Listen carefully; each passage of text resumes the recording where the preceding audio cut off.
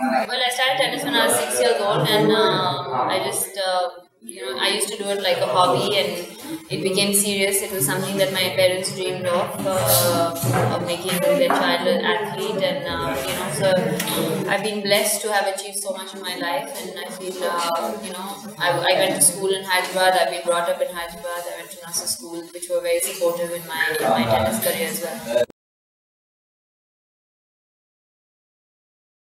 Was more like a hobby. I used to swim, I used to play tennis, and I used to, uh, I actually used to roller skate as well. And um, you know, I, I just happened to be a little bit more talented, I guess, in tennis than the other stuff. And uh, at that moment, you know, you had I had to make a choice, and I chose tennis, and it was, the right choice.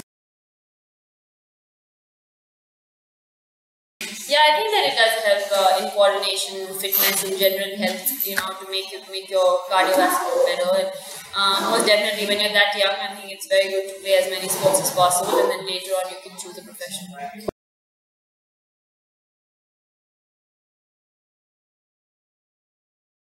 I was 15 actually, but um, no, it was great. It was something that you always dreamt of, of playing Wimbledon and winning at Wimbledon. So, uh, as a child, uh, that was very special.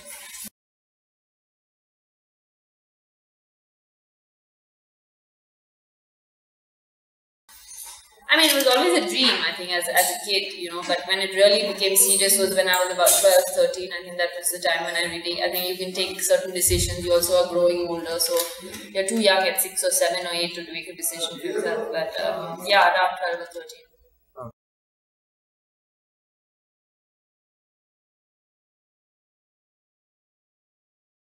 Think that uh, more than changing, it's about developing me as a, as a person and as a tennis player. You know, I think that I couldn't have done it without them. They've been extremely uh, supportive and extremely instrumental in, in whoever I, I, am today and whatever I've achieved. And, um, you know, all credit to them for making so many sacrifices in their life.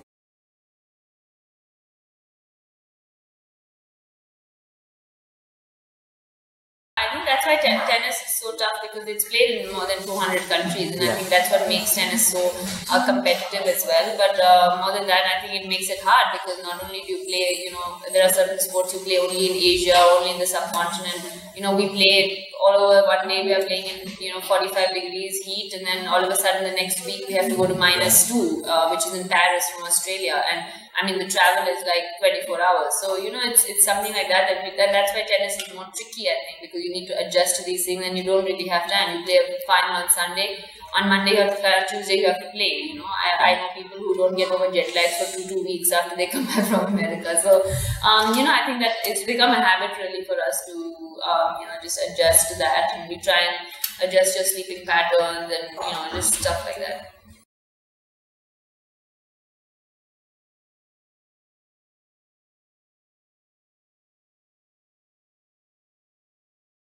I think a lot of uh, you're absolutely right. I mean, it could be whether 100 or 200. I think everyone knows how to play tennis, and uh, you know, even being 200 or 300 in the world in tennis is unbelievable because um, there's, like I said, there's more than 200 countries playing. You're still in the top 200 best at what you're doing, um, you know, in the whole world. So.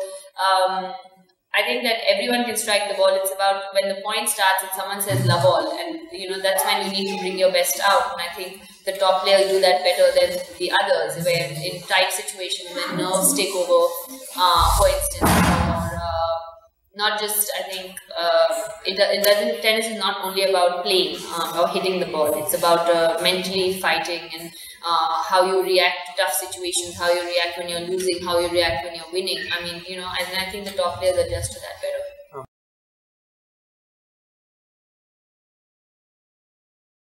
Been going really good. I think that um, you know the interest uh, is is overwhelming, and people have really come out. And there's been a lot of uh, um, you know the whole goal of this academy was to try and give back to the state and give back to the country, and um, it's something that um, you know financially, which was a little bit of a burden for us because we you know it was something that we did by ourselves. It was you know we didn't have any government. Uh, so to say, financial help in this academy, from the land to the building of courts to everything. So it's actually very satisfying when we sit here and you feel that you've done this and you're trying to give back, and hopefully we'll have more tennis players coming out of this, this part of the world. Um, yeah, I mean, I believe in moderation. You know, I'm not one of those who really believes that you need to sacrifice completely. You know, I think that we play enough and we burn enough calories to be eating. But I'm not saying you need to eat cakes every day. But I mean, once in a while, I, I don't think you should deprive yourself.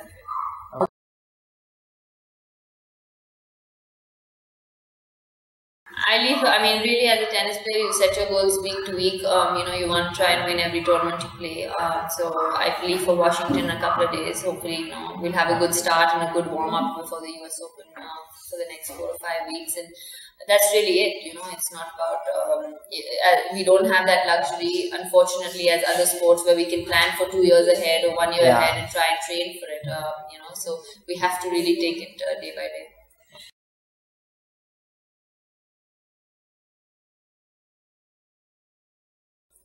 Think it's just the love for the game and the belief, really. Um, you know, more than anything, you have to believe that you belong there, and um, you know, realistically, if you've been there once, you know, most of the time you can be there again, and you need to believe. And as as in a ten-year, twelve-year long career, everyone goes through ups and downs. You, like you can't really be ups. There's always some down, and I think that's when you have a good support system around you, good family, friends, and um, you know, a good strong base where uh, they help you get over. Well, in tennis, I think Roger Federer, Rafael Nadal, but um, outside tennis, I think Usain Bolt.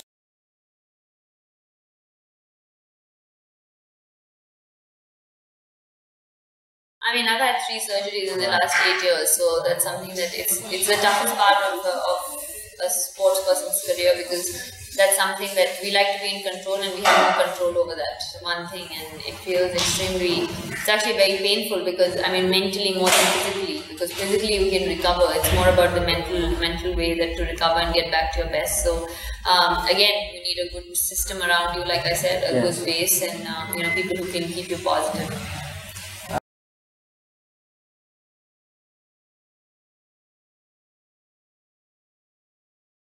I mean, I think that one thing would I would do differently is uh, if I do get a chance, I would love to have an academy like this to start with because at a time when I was playing, uh, there wasn't even a hard court. We used to play on courts made out of cow dung. We didn't have clay courts or hard courts. So to do that and to compete with the, the best in the world, I think that's that's why it makes it more special to come out of this part of the world.